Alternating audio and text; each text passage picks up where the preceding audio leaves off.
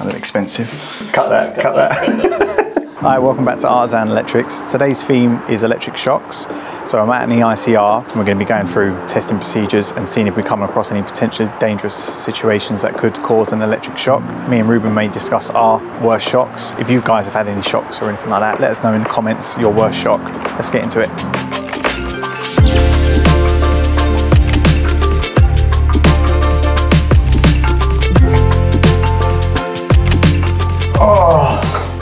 Half drive up here. And we still beat you. And we still beat you here. how how long was it for you, Max? 20 minutes. So can you spot anything the matter with that, Ruben? um, the exposed Got a C1 on it straight away. That's a Wylex board, one of the ones I always bang on about. It looks like GE, MCB's plugged into it as well. A couple of screws missing, no labelling of any description. The acoustics in here are amazing. Looks like it was an old cooker circuit started bubbling and melting. So they made it even more dangerous by exposing that live bar. Dear me, 16 mil tails. Just have a look in the mains cupboard outside. So the water main might be through there. Looks like one continuous piece. It's RMET, no label. Only a 6 mil feed in that. We've got a loop supply here. So it'll loop into here, feed here, and go off to next door. Might not be able to upgrade that any higher than 60 amps, so we'd have to speak to the DNO about that. Sorry, Max, trying to get in, getting soaked. Is your camera waterproof? Waterproof, no. Water resistant, yes. Is there like specs on the lens? Do I have to?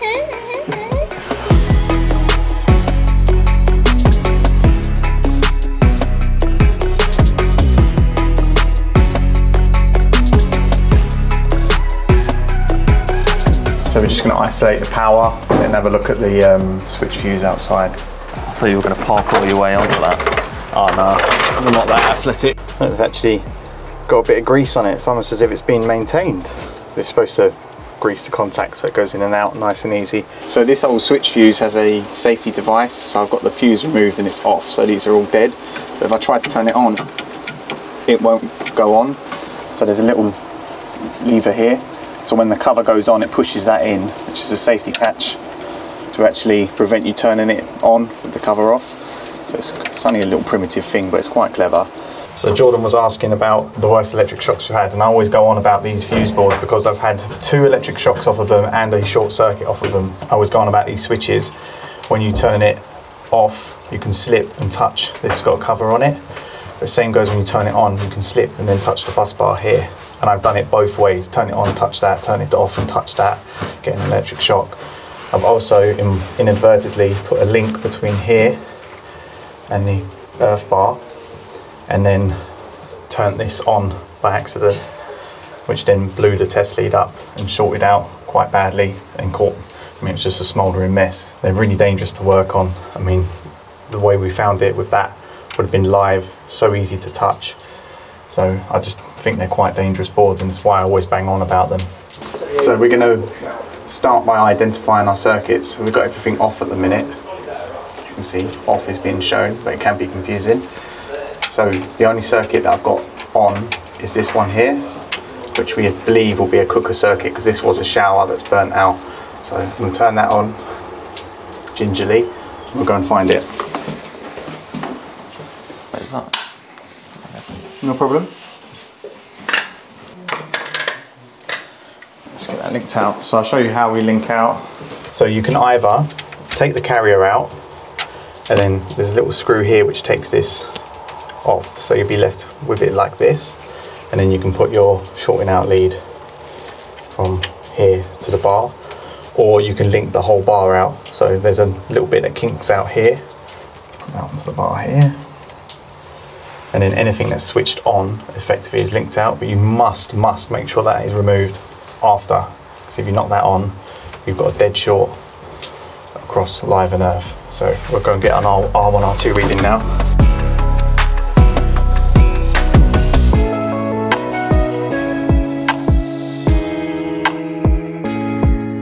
We could have took the reading at the plug but we need to open it up for inspection anyway. And um, cooker switches normally get gummed up because of their location. They get cooking grease and whatever else in them, and then the pins can give you really bad readings, which is a false reading essentially.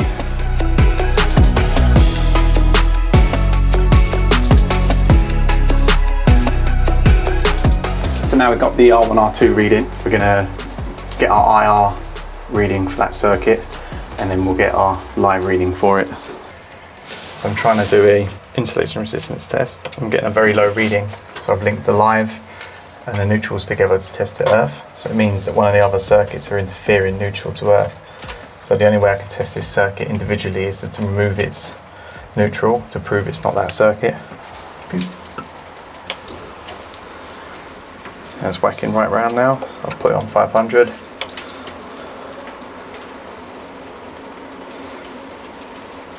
I normally do it for about five seconds, but to be honest, I think that will go clear if I hold it.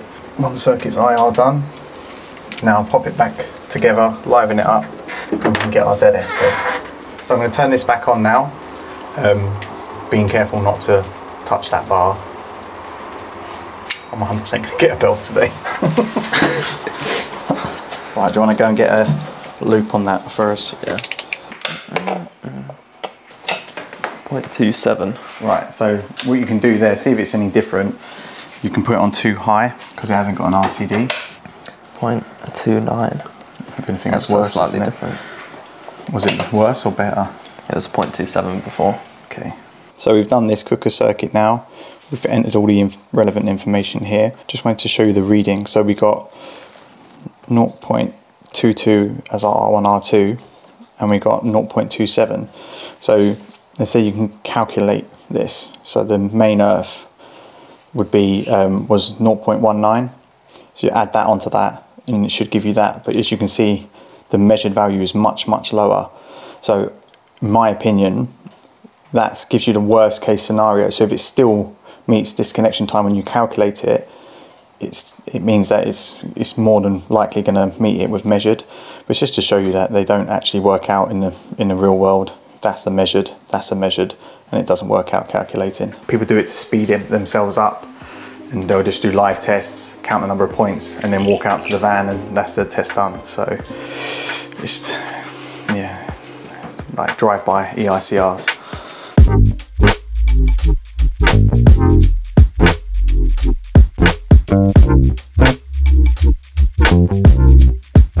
Yeah, I've just taken this off, but the live cables have fell out immediately in the back.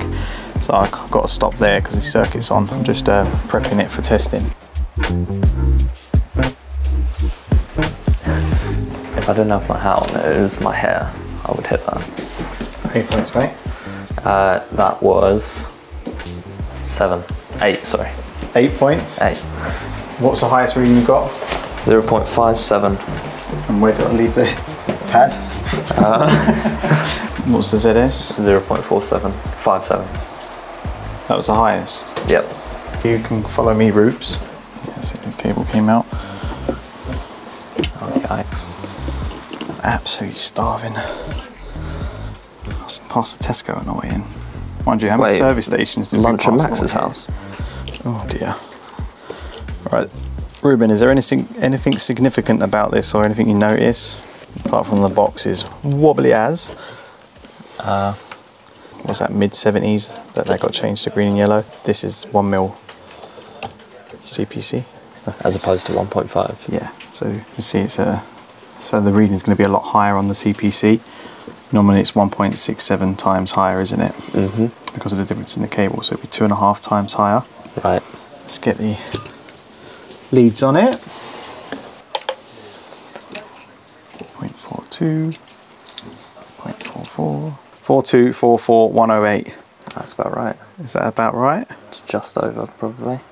Oh, that doesn't look like a 4 anymore, it just looks like a blob. See, that's quite old school. So, yeah, they've gone into this, into the back box in one piece. So, that's just one continuous loop of cable. It's, uh, that's how they used to do it. So, beautiful. Bang on, mate. 110. What we get? 108. 108. Right, so we can do our figure of eight test. That's when the opposite ends of the ring join together. So in a perfect world, that's what our reading would be. What we're gonna go around and actually do it at each point. As you know where they all are, mate. Yep. When I'm going for inspections, I usually try and do the ones that have been changed because it's normally a DIY job. And it's normally ones you'll find the problem at.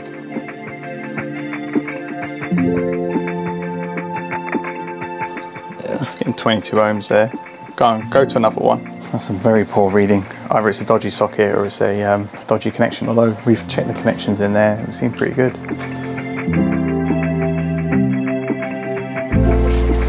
If you're, really quick, you won't get that wet.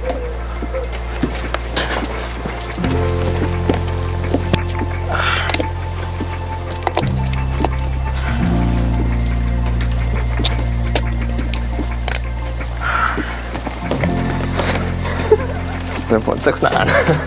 Nice. Something like T- T- Terry the Tester. Well, no, it needs to be an M, doesn't it? Something mega. yeah. Mark. What's another M Michelle. Oh, it's a girl. Okay. I don't know. Pretty beautiful, isn't it? What other M names can we get? Should, should we ask the audience? Um, should they name the tester? Should we do a poll? Malachi. Malachi, Yeah. Maurice. I like Maurice. I was going to say something, but it couldn't be on video. Um, what were we doing? Naming the test, apart from naming Oh, the you tester. like- we were mid-ring test, that's what we were doing. Oh yeah. we had that really high reading at that socket. Yeah. Let's go and find out why that wasn't. Seems a good connection. Still the same. It's a really, it's socket. really rubbish reading. Normally I leave my croc clips on there, have them squeezed together from a figure of eight. However, I'm getting a really bad reading at one of my uh, sockets. I'm just going to stick this in a wa- Wago so I can free up my leads. But I don't have a second Wago, so hang on. This is- I just realised I put the wrong one in there. Hold up, wait a minute.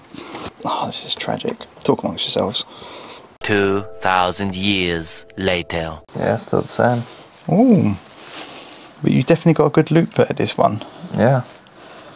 22 ohms. Yeah, we're getting an incredibly high reading at that socket. I'm not quite sure why. Oh, dearie me. So we're going to um, put it all back together and see if we're getting a higher live reading off it because we're getting 22 ohms on uh, R1, R2. I'm on a live. See, I don't think it's on this circuit. I think it's on the kitchen. My missus always wonders what's on my hand. It's not phone numbers. Elijah asked yesterday what people's worst shocks were. Mine personally was when I was an apprentice. So I was working on an immersion heater after a rewire. So it was the last day the electrician was connecting up the fuse board. I was working away and all of a sudden I got a shock. I yelled down to the electrician saying leave the immersion heater off.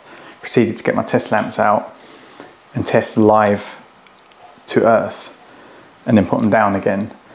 I then touched it again and got one of the most severe shocks I've ever had because I was kneeling on water pipes and uh, so it passed through me. It hurt so, so badly. And what happened was the electrician had connected the tails in the wrong way round. So we don't switch the neutral, we don't break it in our fuse boards in the UK. So effectively the neutral was on and we was, uh, the live was on and we were switching neutral at the MCB. I should have tested across all of the colours, live, neutral, live earth, neutral earth, and I would, it would have shown that it was on. So it was my mistake as an apprentice. However, it was the mistake of the electrician thinking it up the wrong way. Well, that really, really hurt. The only shock I've had was uh, when the breaker didn't work. So flicked it off, and then I saw the lights and whatever go off, and I just assumed that because we've switched the whole board off, I think, and then I went to take off the socket. I was untwisting the earths, and then I must have like clipped uh, the line with like one of my fingers. And I was like, oh, but I was under a desk. So I sat up, I slammed my head against the desk. I was like, what the hell? And then Corey just got giggling. Like, you just got a shock. She's like, yeah, I think so. Check the loft and see if there's any mankiness up there because I don't know lock for yesterday. Okay. Not fed up of being itchy. While I carry on down here. So just look for um, any JBs or anything like that. Yeah.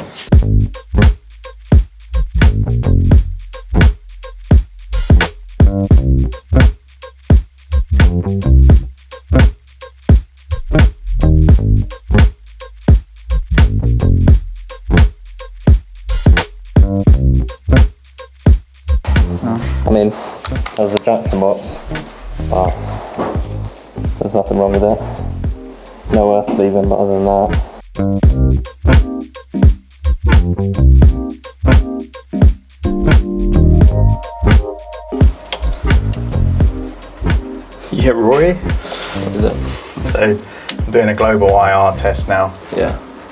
I'll try and show you it. Oh, come on. See, I should have showed you beforehand. So at 250 it goes clear, but 500 it don't because there's something sensitive plugged in. So, you can see it going up. Yeah. About 22. When you put it on 500 it will go down. All of a sudden there's something sensitive plugged in. Oh, it does just go nowhere. Rubbish.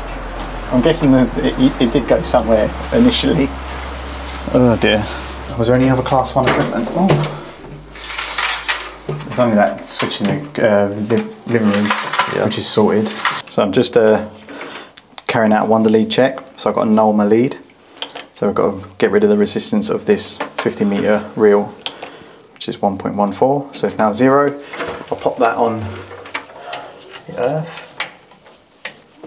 Stay.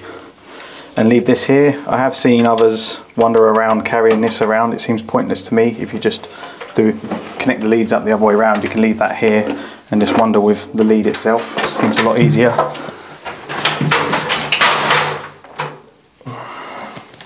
That sounded expensive.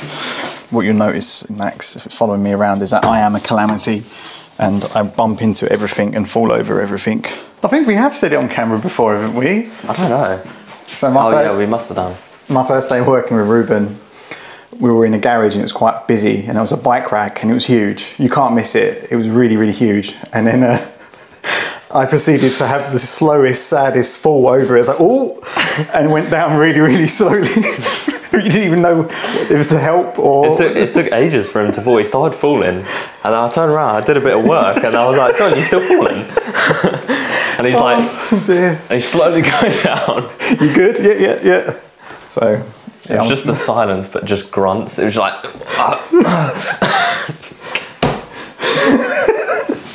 That's how we met. Elijah sent us out some uh, responses to the question, what was your worst electric shock? So I'm just going to go through uh, a few of them. Grabbed the bus bar when trying to get the cover off. Was up a pair of insulated steps, luckily, from Hackwood Electrical. Elekin had a belt off of a plug top after unplugging it. Commercial fridge with a fault. Live pins. Yeah, that's a bit iffy. A1 Electrical Services, working on a sub main at a caravan park, knelt on wet grass and grabbed the 25mm incomer. Youch. DMH Electrical, the one Corey gave me. Ooh, a bit salty. Oi Electrical, have you heard of them, mate? Oi? "Oi, oi, electrical." OY. Um, probably some Insta Spark, isn't it? When I saw the taxes I paid as an employee versus self employed. oh dear. Test my electrics. Live cable from flat above came down and landed on my arm. That bad it came out my foot. What, the cable? Cheers for sending them in. Right, so we've uh, teamed up with SafeStyle and they're providing us our safety glasses. You may have seen them on the channel. Because I wear prescription glasses, I need to give them a load of distance, including the distance between my pupils. And uh, just downloaded this app. Let's, see how it goes. Right, I will need a card and good lighting. You will be asked to remove your glasses, hold a magnetic card. This has got to be a wind up, isn't it? And then take a selfie. Tap next when ready. hold the card at the top corner only. Right. Oh, top corner only. Good. Oh. Hold it right there. Now look at the camera. Smile. That's it. You did brilliantly. What was the Very well smile? done. Here are your results. Do I trust this or what does that mean? Oh, Google's getting thirsty. You're not getting a review now. So apparently my pupil distance is 66.5 millimeters. Link to SafeStyle's down in description if anyone's interested. Gone back to my roots, mate. Back to the CK best testing bag. Those uh, velocity ones are a bit overrated, to be honest. Right, thanks for watching, guys. Um, if you fancy some more of it, there should be some videos popping up here and there. See you next time. Love you, bye.